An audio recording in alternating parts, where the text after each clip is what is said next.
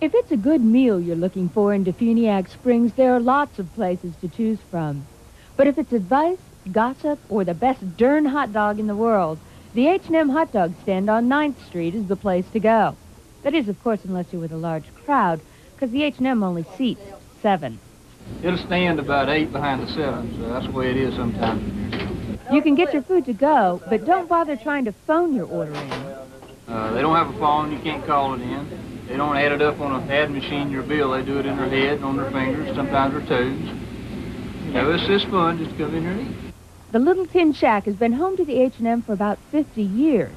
Maggie Davis and her sister Merle Carter have been running it for the last 20.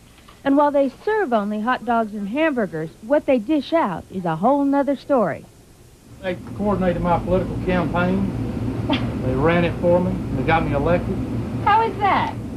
Their mouth. Politics aside, it's really the hot dogs that put this place on the map, and not just the city map either. yeah. We've had people as far as Germany in here. They read about us in Germany. They've been written up in Southern Living and Southern Leisure, and I understand uh, Playboy may be coming down to do an interview for long. So just what is it that makes these hot dogs so special? I don't know unless we steam the buns and, and the wieners and buns and all. And they use the original steamer with a slightly modified lid.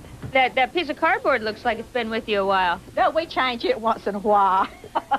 Other than that, it doesn't appear much else has been changed in the past half century. The ambience is still friendly, the decor simple. You get your food on a napkin and you can get your own soda, thank you very much. And if you expect special treatment, well, Now, what'll happen a lot of times, you get a, a good-looking guy come in here. Now, they'll go around, and they'll get his Coca-Cola. But, man, they won't even touch mine at all.